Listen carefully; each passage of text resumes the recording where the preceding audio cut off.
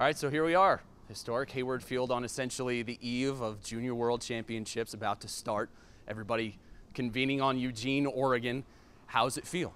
How is it now that we're about ready to really kick this thing off? Well, we have um, we've planned for this for better part of three years, and just like when you're coaching a team, everybody gets ready for the big championship day, and I think we're all ready. You said it takes three years to plan something like this. Um, what all goes into the planning? What what's the legwork that we don't see uh, leading up to this? Well, the legwork leading into this is about a thousand people who have worked tirelessly as volunteers to really get this going. And whether it's been members of the media, whether it's been our transportation drivers, whether it's been our volunteer coordinators, whether it's been housing, there's so many people that actually contribute to an event like this because um, you know, when you talk about uh, 1,600 athletes, 250 team leaders, uh, probably 500 of uh, heads of federations, this is a big deal. With all that work that goes into it, how does it feel to have this thing here in Eugene, something you've worked for for a very long time? I think that when you look at the place here, I, I think it's, it's one thing to look at, a, at an empty stadium.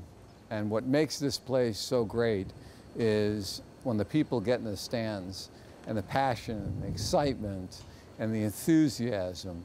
Uh, that's what's really exciting. Right now, it's kind of like putting the finishing touches on it, getting the timing put together. When the athletes have uh, tomorrow, Monday, when they put together this piece and they actually have a rehearsal, that's when the real thing will set in. I want to go back and talk about the NCAA Outdoors. Here just a month ago, and the nation's best college athletes. Uh, what was that like for you to see that event here in Tracktown? I think that what is exciting for me is when I look at an athlete, whether they're from the University of Oregon or Florida or Arkansas, wherever they're from, and um, they win an event and they have an opportunity to jog around the track and our spectators reach forward and slap their hands. Uh, it's very exciting. And of course, it was great that the Ducks won uh, on the men's side and were third on the women's side, and that's a great thing, and watch our coaching staff really feel good about it. Um, so for me, this is just another step in uh, the big line of important things that have happened here at, at Oregon. Do you know this is the first time this event has ever been on U.S. soil, so uh, history will be made, and what, a, what there could be no better place than have history made than historic Hayward Field. What expect, expectations do you have for the event now that it's being held here for the first time on this soil? What do you what do you hope to see happen? What do you hope to see unfold and, and for fans, spectators, media of the world to take away? I think this place has tremendous history and it has, I think it represents memories. You know, I talked to a, a gentleman yesterday, the, um, he's one of the coaches from uh, the Bahamas. And he competed here in 1971 and has been back here since 71 and now will come and lead the delegation from the Bahamas. And um, it, it's a draw. People are drawn back here over and over again. It's a different place than, the, uh, than a Paris or a Barcelona.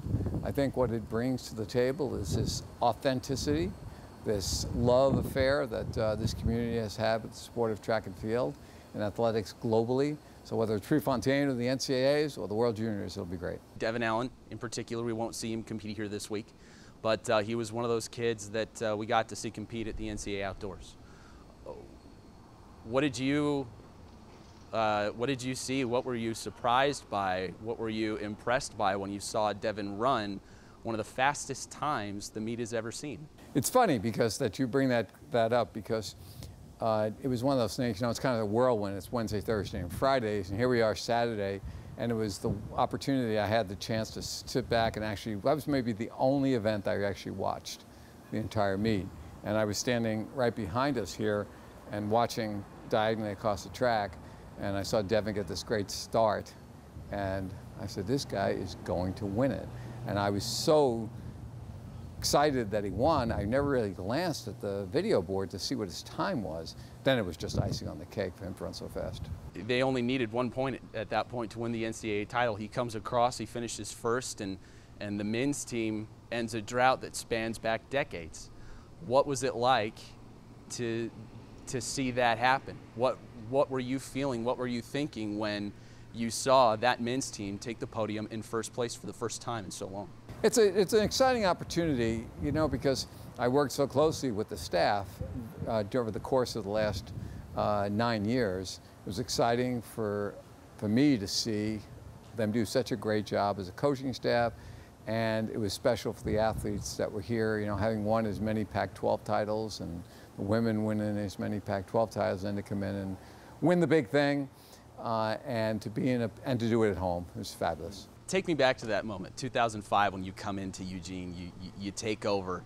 Uh, what was the state of Oregon track at that point? I think the state of Oregon track and field really when you, I remember showing up here, I actually remember it pretty, pretty well, and I was, um, I talked about having a press conference, and I was out at the gates of Powell Plaza, and I stood, and I, I'd actually been here so many times, you know, and, and really had a lot of great experiences here.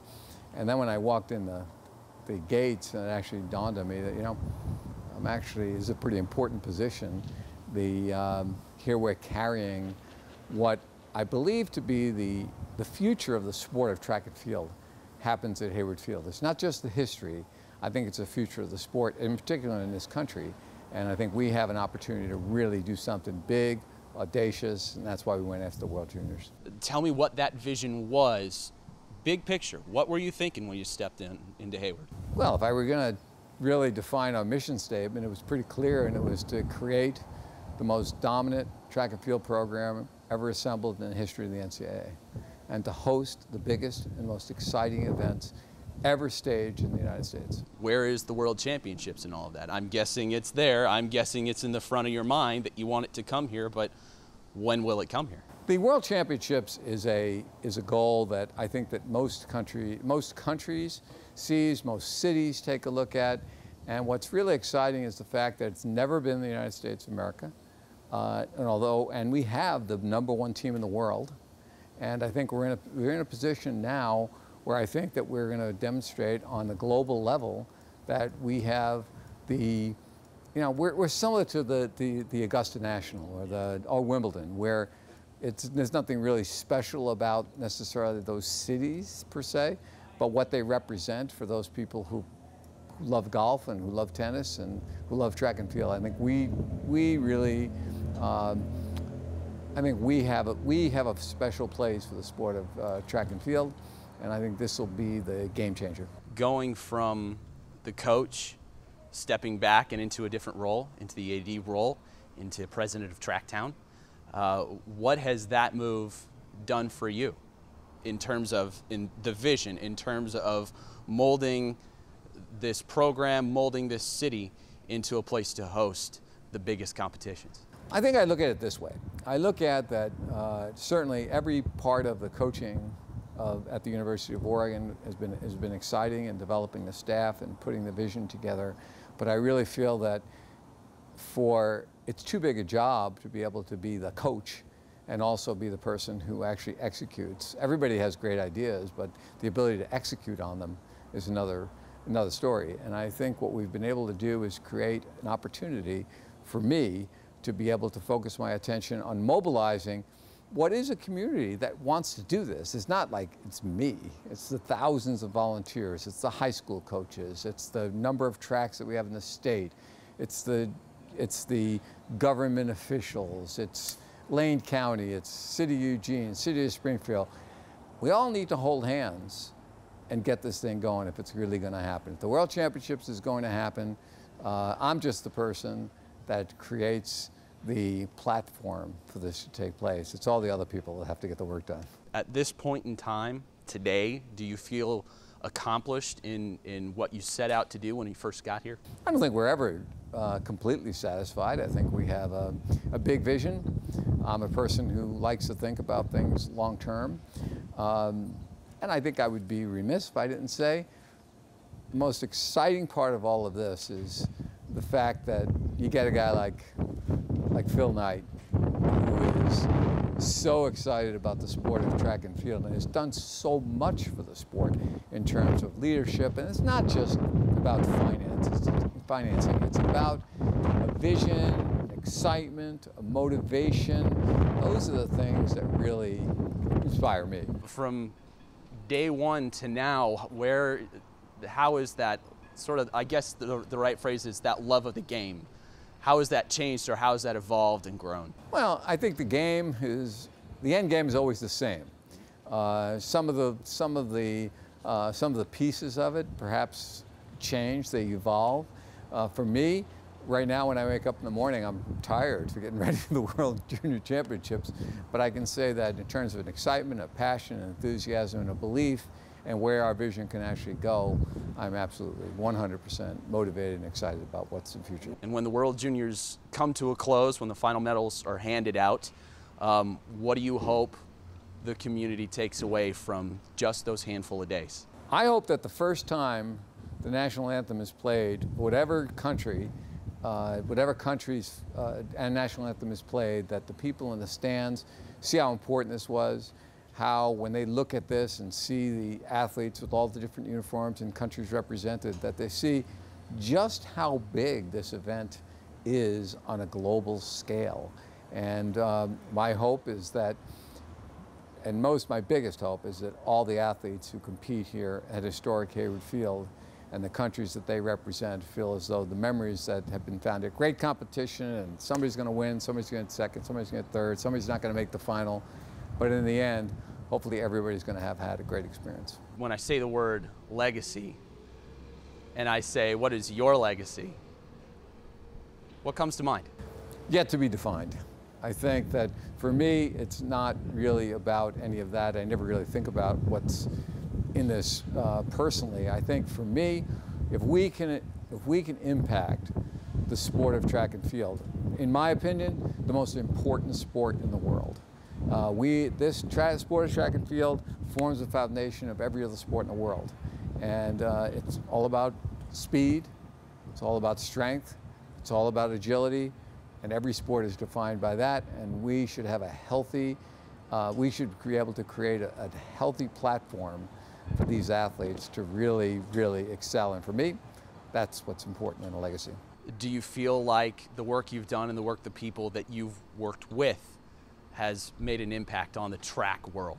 I think the World Junior Championship basically is a standard by which we, we measure that.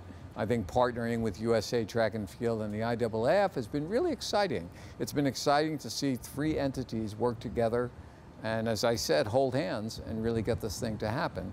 Um, but I have to go back every time to talking about the number of people that have impacted this. This is not about me, it's not about one person. Uh, it's not about one organization. It's about all of us working together to really do something big and exciting and audacious. Vin, thank you very much for your time. Thank you.